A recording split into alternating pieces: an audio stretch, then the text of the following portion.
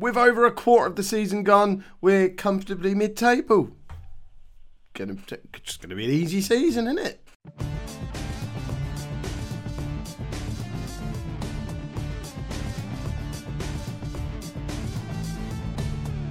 Hello and welcome to season 17, episode 4 of Non League to Legend. I'm Kev, and coming up on today's episode, we're at home against Norwich and then away against Derby, both in the Premier League. Since you were last with me, we're doing well against the rubbish teams and badly against the good teams. It's exactly what you'd expect from a mid table team.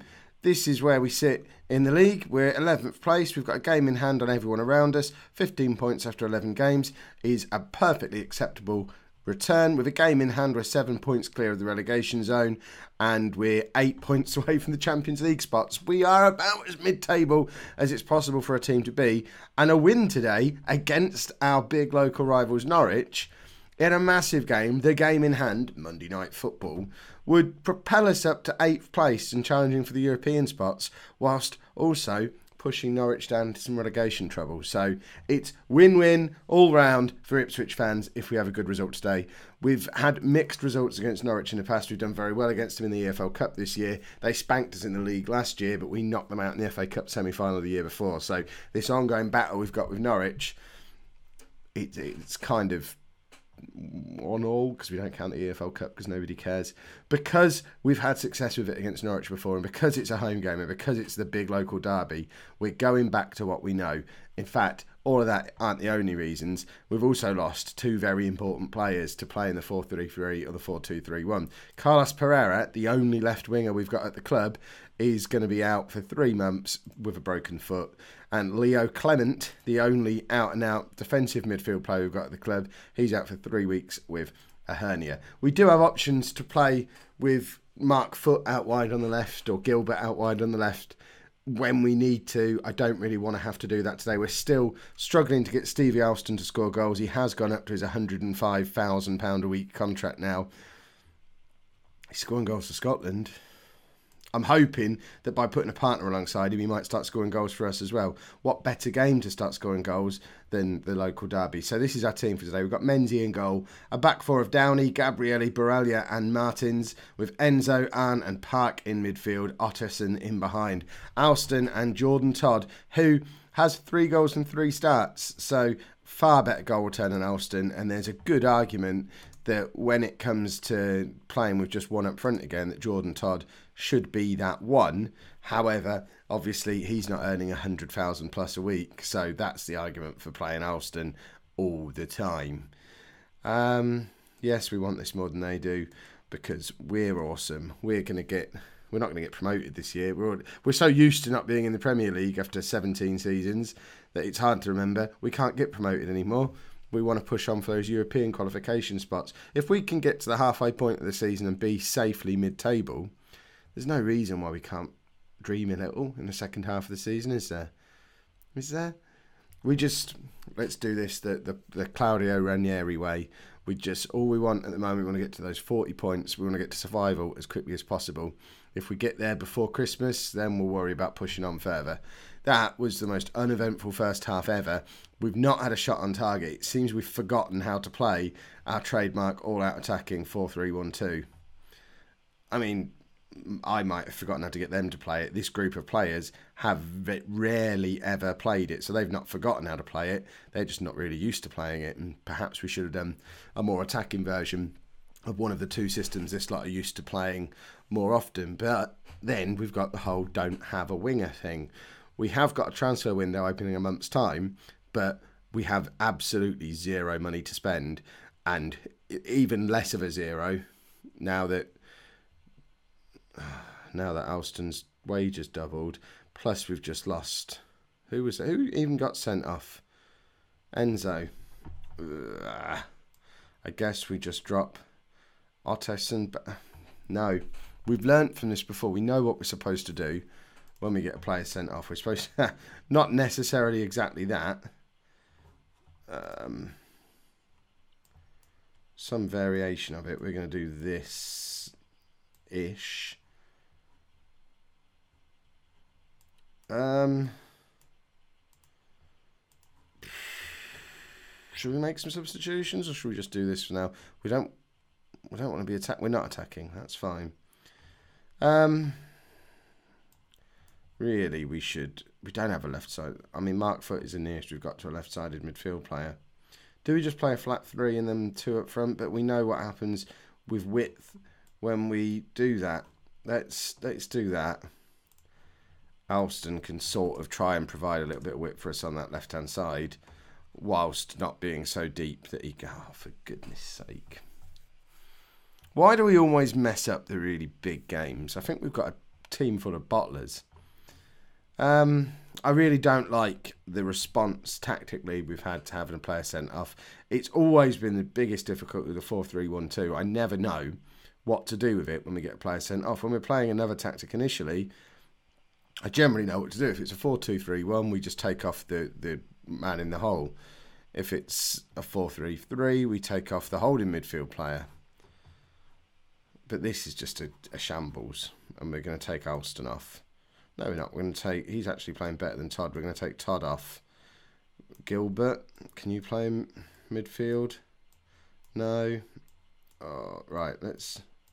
We've got to go and try and win the game. So let's do that. And also, Martins has been rubbish, so we'll bring Mutcher on.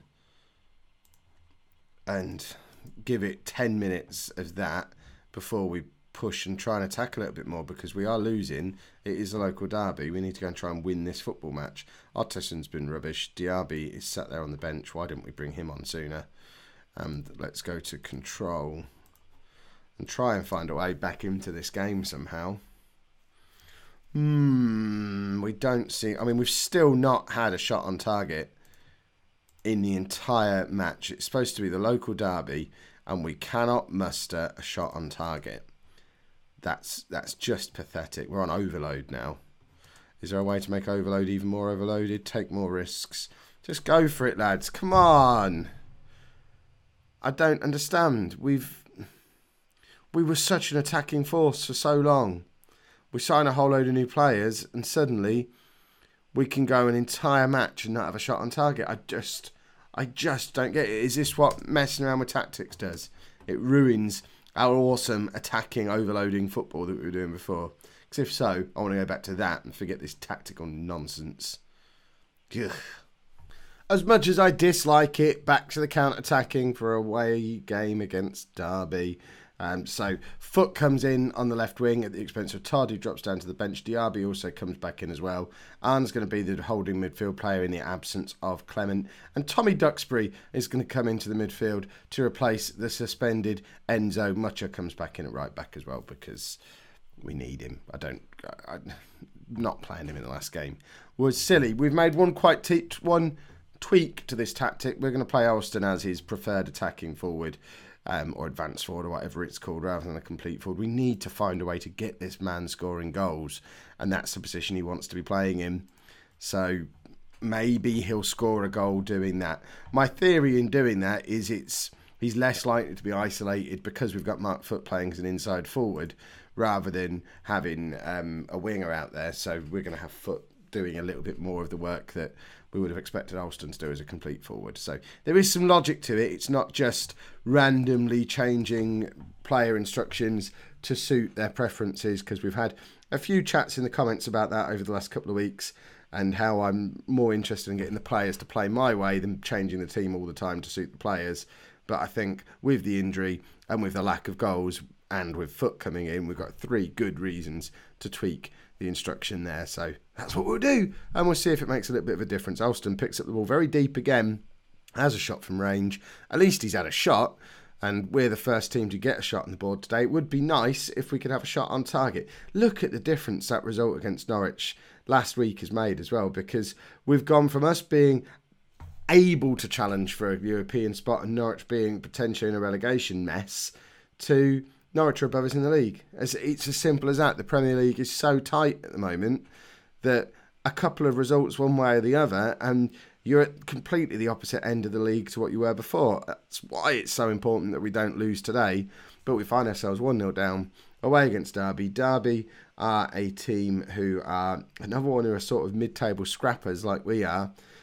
Ideally, a team that we don't want to lose to. But we, we are struggling a little bit to play as well as we're capable of at the moment. And Foot gets in, and we've finally had a shot on target. Oh, we'd already had one before that as well. A goal would be nice at some point, though. It's been a while since we've scored a goal, at least a meaningful goal. We got a couple of consolation goals against Man City, but I think we're already like 4 0 down by the time they went in. We're getting a bit desperate when Tommy Duxbury needs to be back in the team as well. Mm, I am I am feeling a little less positive about the shape of this season than I was at the start of this episode. Back to back defeats will do that to you, and it's three defeats on the trot in the league. Alston's been trash again. Todd comes on. In fact, we probably should make a second substitution as well. Mark Foot not capable of playing as a winger in the Premier League. Why haven't I got Gilbert on the bench? Can Diaby come out there? No. Um. I don't know what to do. Martins can play left midfield. Can he play there? No. Jack Beale can play right wing. Gran can play right wing. Otterson can play right wing. Rick Lang, can he play there? No. Well, this is silly. This is really silly. What an oversight on my part. Let's just bring Otterson on and make him a playmaker, maybe. So he can drift around a little bit. Can we have a Trequartista out there? We can't. Playmaker hopefully will drift around a little bit and ugh, we I don't know why I've not got Gilbert on the bench. 17 seasons in and I'm still letting the assistant manager pick the substitutes and it leaves me in messes like this. Diaby's not playing well either. We may as well bring on Jack Beale and go to this. I mean, we've seen these two. Why are we messing around fiddling? Why don't we just do that? And that is then exactly the combination of players in the right positions that we're looking for. Let's go and have an equaliser. For goodness sake, I want, can't have an episode where we don't score a goal at all. What happened to free scoring Ipswich? Park with the free kick straight into the wall. We thought we'd found a free kick specialist with him. Now he can't even beat a wall. It's all going wrong, and they've got a player in our half with none, none of us in said half with them. We're 2 0 down it, I mean, it was just so poor. So poor to be caught like that.